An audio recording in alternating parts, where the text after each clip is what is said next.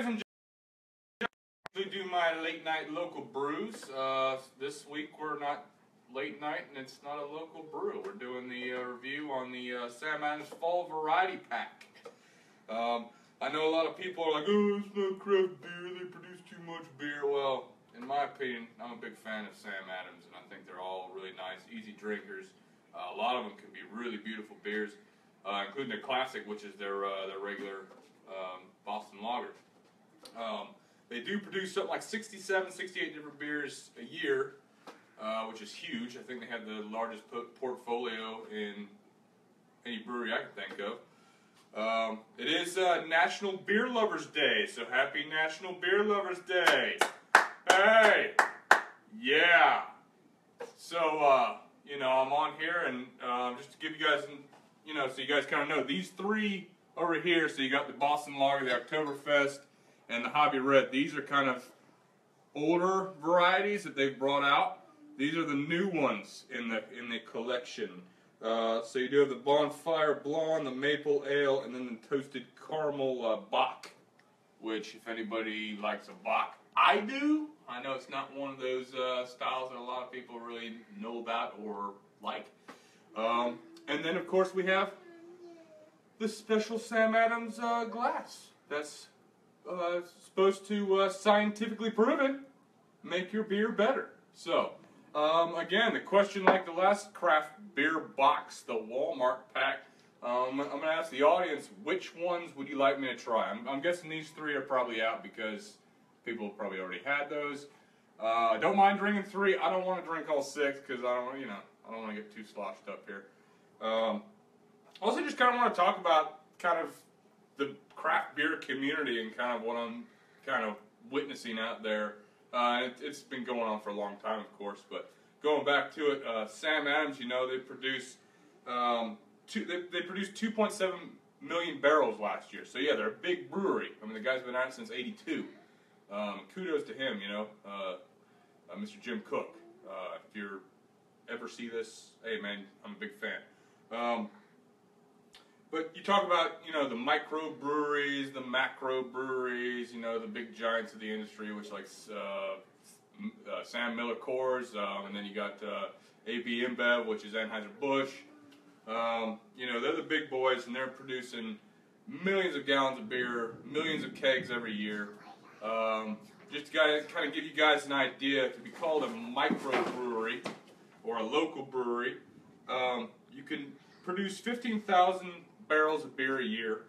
Uh, that equates to 460,000 gallons. So that's a microbrewery, uh, such as around here, local, adventure, that sort of thing. Um, again, Sam Adams produced 2.7 million uh, barrels of beer last year. They're kind of in the middle.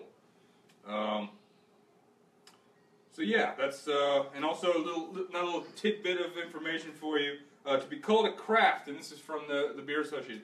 If, to be called a craft, uh, the annual production of beer cannot exceed 6 million barrels. So, uh, for a beer to be called a craft beer, that producer uh, cannot exceed 6 million barrels of beer produced a year or annually. Um, so, do we have from the audience uh, any ideas as to which ones you'd like me to review or try?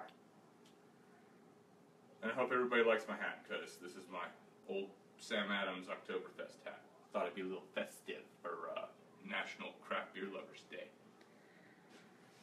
Any takers? Hello, hello, hello. Uh, Josh Hall says the last one. The last one. So the toasted caramel bock. Oh, you would go for the bock, wouldn't you? And then Mike having it says maple. The maple, okay. And look at that too. I got a uh, Sam Adams uh, brass bottle opener. So you see, I'm a big Sam Adams Mike Vitt says uh, suicide. Mix them all. I like your style, Mike. you always exceed my expectations.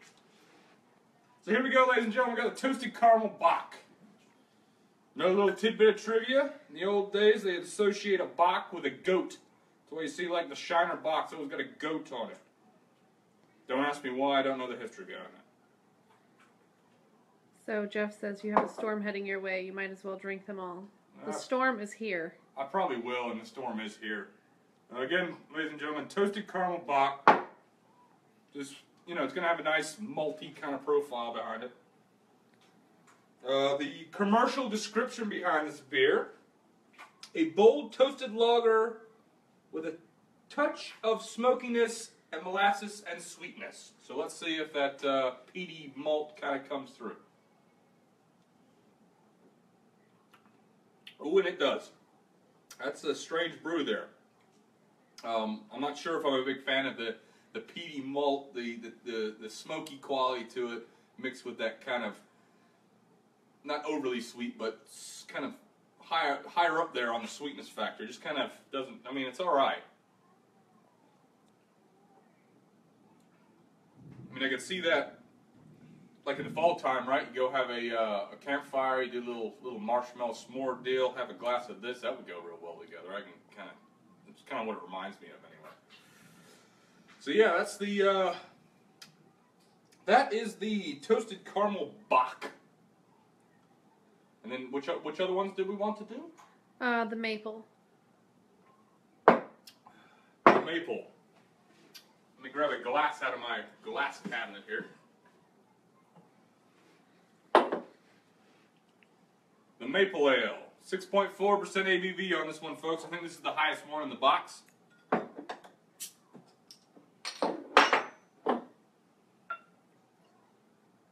Again, really beautiful color on that thing there. Nice copper hue. Carbonation's really nice. Not smelling too much maple syrup in there or anything.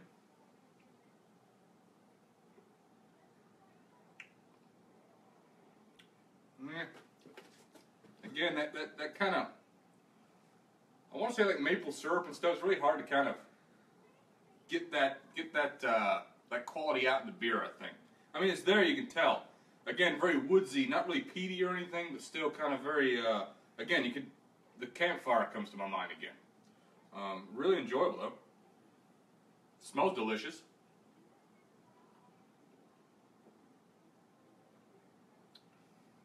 Yeah, I can dig it. I can dig it. So that would be the maple ale from Sam Adams. I think this box out of the way. Um, and then the other newest addition to the pack this year, the Bonfire Blonde. Commercial description got me kind of like, ooh, what's that all about? Um, slightly sweet and doughy, hint of smoke, and then a dry, uh, tart finish. So let's see what this is about. That smoke again and tart. Kind of interesting. Let's see if it actually comes out.